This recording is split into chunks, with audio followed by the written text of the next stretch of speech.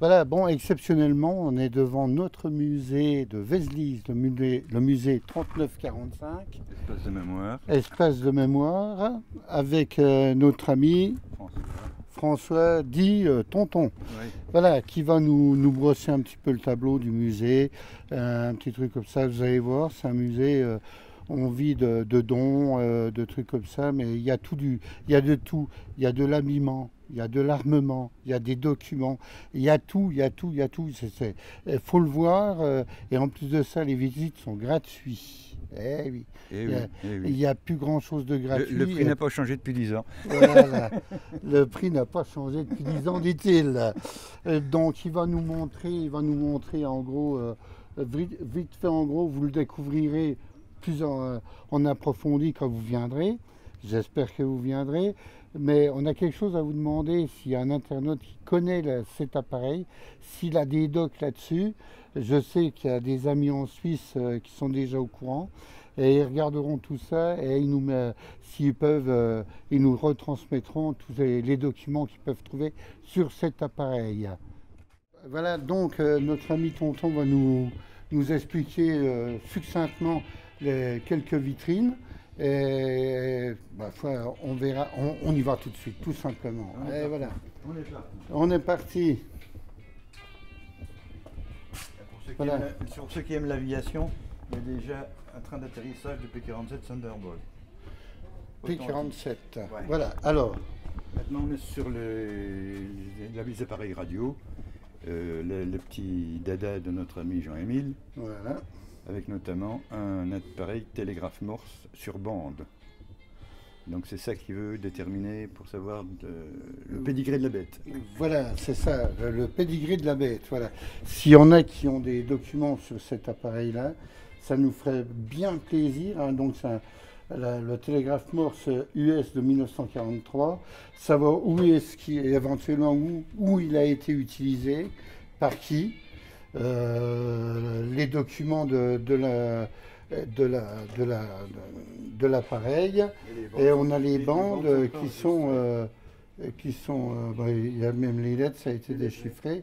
Voilà les bandes qu'il y a qu'il y a eu qui sont donc imprimées on, on s'amusera peut-être éventuellement un de ces quatre à tout déchiffrer voir s'il y a des T'as du boulot, mon grand. mais c'est pas grave, on y arrive. voilà, voilà. Donc, euh, voilà l'appareil. En gros, après, dit... euh, le tonton, il va nous dire le reste des appareils. Ouais, Il y a le TRPP8, il y a le, le bazar rapporté à dos d'homme, Ouais. avec plus de, de batterie que de radio. Voilà. Ça en place. Attends, on va le remettre, il est cassé. Non, il est cassé. Il est cassé, donc voilà, on le remettra. Bon, Le voilà. Les... Des manips. Des manips. Une boîte à quartz, non? Ouais. Une boîte à quartz. Ah, ah. Secret d'état, ça marche pas. Non. C'est, t'appuies pas. Enfin, c'est pas grave. C'est une boîte de quartz. Après, Là, c'est les engins qui étaient sur les Jeeps. Celui d'à côté sur les blindés. Mhm. Le, le- le pied d'antenne. Voilà, voilà.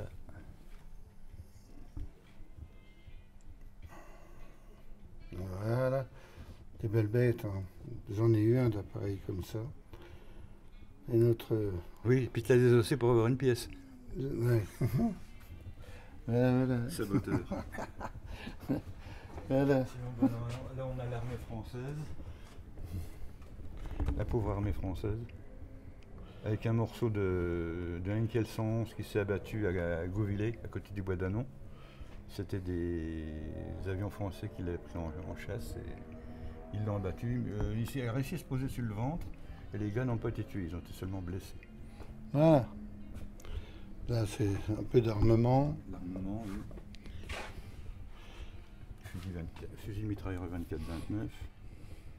Le célèbre nécessaire de couture du soldat français. Mais l'Améri- l'américain est beaucoup plus, plus riche. Plus étoffé. Plus étoffé, plus riche. Oui, oui, oui. oui. Voilà, voilà. Bon, ici, la musique. Il y a la musique, il y a la radio encore là. Pas mal de trucs de musique. Le gramophone avec le disque de Bing Crosby. Et Bing Crosby est venu pendant trois jours à Vézelise en septembre 44 pour remonter le moral des troupes américaines. Hein, avec les, Ah ben, les biberons. Oui, le bi- on ne pouvait pas faire autrement. À Vézelise, si on ne montre pas les biberons de bière, on ne montre Ah rien. oui, bah oui. Euh, La machine à écrire de correspondants de guerre américains, notamment ils avaient deux journaux internes, le Yank, le casque de Yank, et l'autre c'était Star and Strip. Et c'est bien évidemment le, le- le clavier QWERTY sur lequel on ne peut pas taper parce qu'on est habitué à la ZERTY. voilà. Ça L'appareil photo, le speed graphique de Ko- Kodak, au grand complet, l'appareil, le flash, les plaques, le, tr- le trépied, la valise de transport. Là, tous les, les trucs de musique, de sonorisation. Sonorisation, oui. Sonorisation, le cinéma euh, militaire et compagnie. Propagande, Ouais. voilà. et même la musique là-haut. Ouais. Trois semaines pour le remettre en état. Ah Bah oui, hein. ça ils étaient. Ouais. Vite fait, Là, peu de médical. C'est malheureux à dire, mais la guerre a apporté beaucoup de, de nouvelles choses dans le médical. Les banques du sang, les produits pour se- stériliser les, les plaies, euh, etc., etc. Là, les malheureux prisonniers de guerre français entre 1,5 million et 1,8 million le 23 juin. La vitrine que j'appelle toujours la vitrine des, des visiteurs, trois fois en moins d'un siècle, 1870, 914, 18, 39, 45. voilà. Ça, c'est la vraie plaque de felt gendarme, pas celle de Louis de Funès, qui était grosse, euh, le double de ça est, chromé. Hmm. Non, non, ça se voyait dans le noir, le chromé.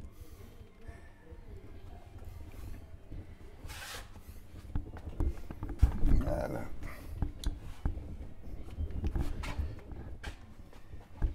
Là, c'est la vitrine qu'on a consacrée à notre euh, vice-président, malheureusement décédé en 2020, un ancien résistant qui est décédé à 94 ans et qui avait encore un boost terrible. Ah, oui. Comme il avait dit à des jeunes, euh, j'en apprends encore tous les jours. C'était quelqu'un, notre Ah Fernand. oui, oui, Fernand, Oui, c'était oui. quelqu'un, oui, oui. Conteneur de parachutage pour ravitailler les, les FFI, les résistants. Pareil, ça vient de, de Gauvillé aussi, ce truc. Il y avait des couleurs aussi. Oui, il y avait des couleurs de parachute.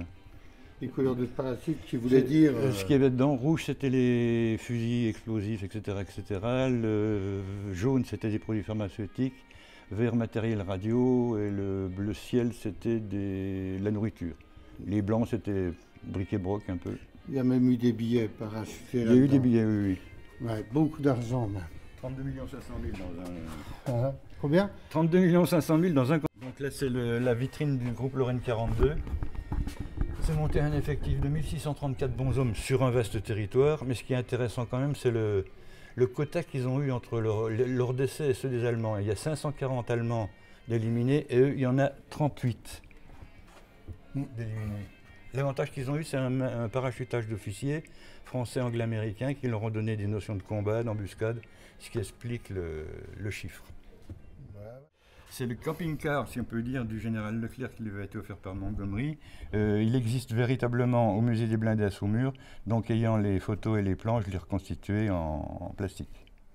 Un mètre dans les, les reconstitutions en modèle réduit. Donc ça, c'est les forces françaises libres dans leur, euh, dans leur ensemble, euh, terre, mer, air.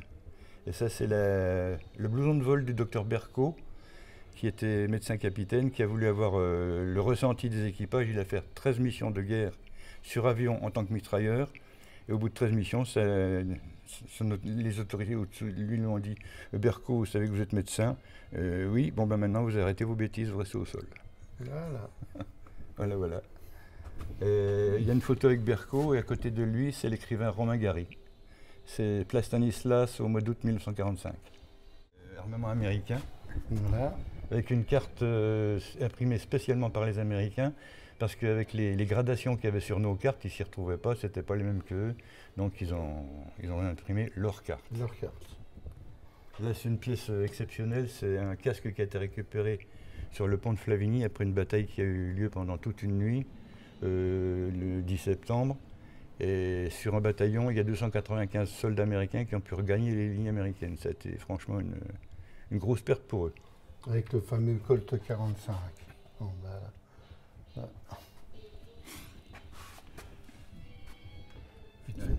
Là, bah, voilà, on avait parlé Ah. tout à l'heure du, du nécessaire de couture, bah, l'américain là. Hein, c'est quand même plus riche. C'était plus complet. Ils, a- avaient tout ce qu'il fallait dans, le, dans, le- dans leur pactage, le nécessaire de couture, le nécessaire de, de- de- de- d'hygiène, euh, brosse à dents et tout ce qui s'ensuit, les lunettes de soleil, le zippo. Les, les petits numériques de l'époque, Et voilà, on a quelques petits numériques. reconnaissance photographique aérienne, donc euh, c'était énorme. Ouais. Euh, le- la boîte qui est à côté de l'objectif, là c'est la boîte du, du négatif. Donc ça donne la largeur sur une longueur euh, du double. Ça peut être agrandi au nombre de fois qu'on veut. On compte les boulons sur les roues des camions allemands. Le central téléphonique. hein. Ouais. On a le, le central téléphonique qu'on voit là.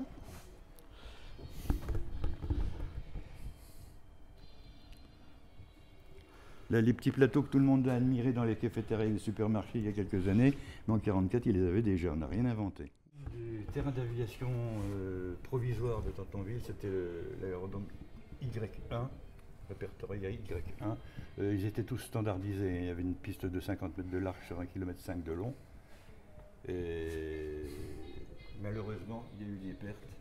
Ils ont été là du 23 décembre jusqu'au mois d'avril, pendant ce temps-là, il y a eu 27 morts soit en combat, soit au décollage, soit à l'atterrissage. Parce qu'ils ont manque de chance, l'hiver euh, de cette année-là était, comme tous les hivers de guerre, euh, plein de neige, plein de verglas, donc euh, souvent ils se crachaient. Mm. Et là, on a un jeune gars, Bradley Clark, qui, qui a failli se manger le- l'église. Et il a il réussi à éviter, même heureusement, en, en essayant de se rattraper, il a touché un arbre, il a touché le transformateur de la commune, il a tapé le toit du lavoir, son corps a été éjecté, il a été tué. Et Donc l'harmonium qui est là sert à illustrer la, la messe sonore, de façon sonore. Et là, c'est donc euh, l'hôtel de campagne. là, qui est pour les très, messes. Très, très, très rare. Alors, sachant que les protestants ne reconnaissent pas le Christ sur la croix, il est amovible, si bien que ça peut servir aux catholiques et aux protestants. Mhm. Et là, j'ai représenté le- la messe en plein air avec l'harmonium que j'ai fait à la main. Et celui qui joue l'harmonium, c'est tout simplement un, un chauffeur Voilà. de camion.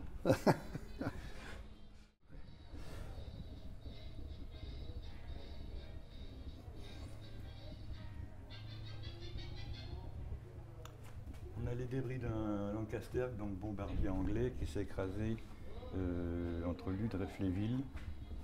Euh, L'histoire, ils reviennent d'Allemagne, ils sont dans de nuit sans, éclairage, et celui-ci touche le précédent. Donc il y a trois moteurs qui se mettent en panne. Euh, sur un équipage de 7 bonhommes, il y en a 5 qui réussissent à sauter. Malheureusement, l'appareil se met en vrille et il y en a deux qui sont restés dedans. Voilà. Le reste des pièces de ce fameux avion. Faut savoir que ça a quand même passé euh, une quarantaine d'années sous terre et que la peinture, euh, c'est pas les acryliques qu'on a maintenant, hein, ça tenait le coup.